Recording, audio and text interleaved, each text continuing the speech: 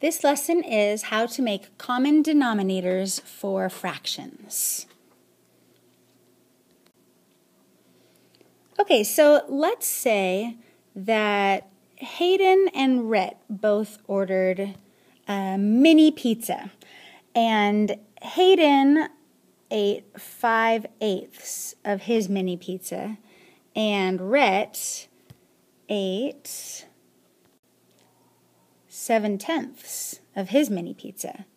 Well, what if I wanted to figure out who ate more of his mini pizza? I could look at the numerators and see if one of them ate more slices than the other. Well, Rhett sure ate more slices, but his slices are smaller because look, the denominators aren't the same. Rhett's pizza was cut into 10 smaller pieces, whereas Hayden's pizza was only cut into 8 pieces. So the pieces were bigger. But he only ate five of them. Oh man. Well, what if we compared it to one half? Maybe one of them is less than half and one of them is greater than half. Well, half of eight would be four. So Hayden ate five eighths, so that's more than half. And half of ten would be five, and Rhett ate seven, so that's more than half too. Ah, how can we compare these fractions? Who do we know ate more? Well, this is where our study on multiples is going to come in handy. Check it out. We've got 8 and 10. These denominators are not shared. They are not the same. They are not what we would call common. So let's list the multiples of 8 and see if we can find some numbers that would match that we could turn into a new denominator. So we've got 8, 16, 24, so that's 8 times 1, 8 times 2, 8 times 3, 8 times 4 is 32, 8 times 5 is 40. That should be enough for now. Usually I say do the first five multiples, and then if you have to go back and do more because you haven't found anything that matches, then you can. So let's list our multiples of 10. Ooh, counting by tens, we can do this. 10 times 1, 10 times 2, 10 times 3, 10 times 4. Ooh, notice anything? And 10 times 5, just to finish it out. Anyone notice that we have got a 40 here and a 40 here? That means those are the same or they are shared. They have them in common. So we will circle that least common multiple. LCM stands for the least common multiple. So out of all of the multiples of 8 and 10, the least one that they have in common is 40. They probably have some more down the road, like 80, but for now, we can work with the smallest number possible because it'll be the most friendly number in the long run.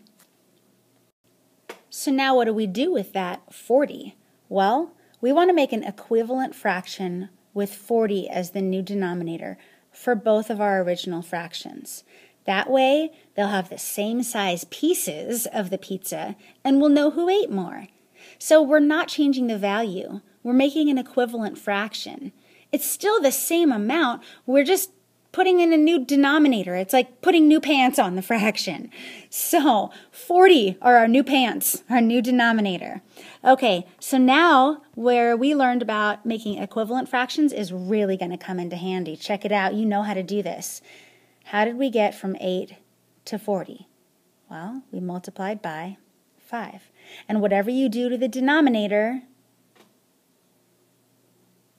you have to do to the numerator. So we'll multiply that by 5 as well.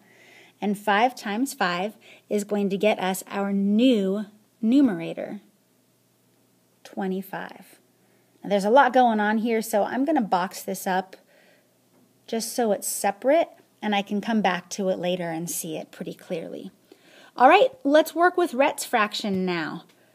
To get from 10 to 40, multiplied by 4. And whatever you do to the denominator, you have to do to the numerator. So we will also multiply by 4, and 7 times 4 is 28. Now I've got two fractions that I can compare a lot more naturally. They're friendly fractions because they have the same denominator. So now I can compare 25 fortieths and 28 fortieths. So Hayden ate 25 fortieths of a pizza, and Rhett ate 28 fortieths of a pizza. So, who ate more? Greater than and less than here? Rhett. He ate 28 pieces that were 40th size, and Hayden ate 25 pieces that were 40th size. Since we know that these new fractions with 40 as their denominators are just equivalent fractions to our originals for Hayden and Rhett, we can also use what we found out about the 40th fractions to go back to our original problem. Is 5 eighths more or less than 7 tenths? Well, it's going to be the same answer that we got previously. 7 tenths, which is like 28 fortieths, is greater than 5 eighths, which is like 25 fortieths. Okay, let's try another one. Say we're wanting to compare 5 twelfths with 1 third. 5 twelfths of a pizza with 1 third of a pizza. Well, our numerators aren't the same, so that doesn't really help us. Our denominators aren't the same either, so again, that doesn't help us. And if we use our halfway mark as a checkpoint to see, well, 5 twelfths is less than half, because 6 twelfths would be exactly half. And 1 third is less than half, because 1.5 or 1.5 would be half of 3. So they're both less than a half. So, really, the only way that we can compare these fractions is by changing their pants. we need new denominators. So let's get to work. We've got 12 and we've got 3. We are going to need to list the multiples of both of these. And we'll see if they have any multiples in common. Ooh, counting by 12. This is a tough one. Here we go. 12 times 1, 12 times 2, 12 times 3, 12 times 4, 12 times 5. And we'll stop there because usually we have what we need um, by the time we do 5 multiples. Okay, now let's do our multiples of 3. 3, 6, 9, 12. ding, ding, ding, ding, ding! We have a match! So we don't even need to go on anymore because we see 12 is our least common multiple. It doesn't matter if we already had it, it's still the least common multiple. Sometimes that'll happen, and that's actually really nice. So that least common multiple is going to turn into our lowest common denominator. Okay, so let's set up our equivalent fractions. Now hold on, do you notice something? We've got a 12, but we already had a 12 to start with. So do we need to go through the whole process of figuring out a new numerator when we know it's just going to be 5, what we started with? no. No, we do not. All we need is to change this one fraction. So let's get to work. To get from 3 to 12, we multiplied by 4. Whatever you do to the denominator, you have to do to the numerator. So multiply that by 4 as well. And 1 times 4 is 4. So that's the new fraction that we're working with. Now we can compare 5 twelfths compared with 4 twelfths. All right, let's compare 5 twelfths compared with 4 twelfths, which we know is the same as what we started with over here, one third. They're just equivalent fractions. So if we have 12th size pieces, then who had more pieces? They're the same size.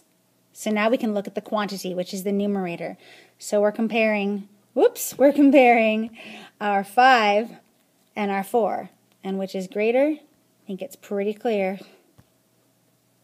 5 twelfths is greater than 4 twelfths, which also means that 5 twelfths is also greater than 1 third. So here's your task. What you need to do is you need to come up with a problem to trade with a discussion group member of yours tomorrow. You choose two fractions, not improper or mixed, just normal fractions like we saw today, but they can't be the same fractions that we used in this lesson. Your fractions need to have two different denominators. You need to find the least common multiple of those two denominators which will then turn into your lowest common denominator or least common denominator, which you will use for making equivalent fractions so that you can compare.